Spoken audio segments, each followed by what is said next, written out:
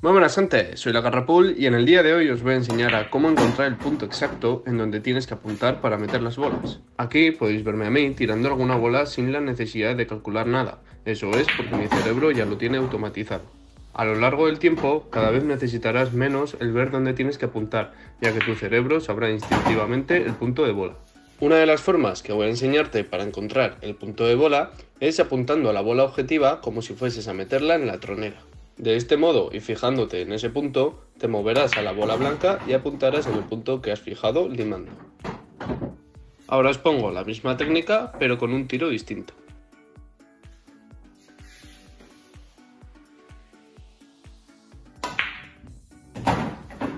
La segunda forma de calcular el punto de bola es colocando la punta del taco justo enfrente de la bola objetivo, en el centro, imaginándonos que hay una bola fantasma y sin mover la punta. Desplazamos el taco al centro de la bola blanca. Ahí es donde debes tirar para meter la bola.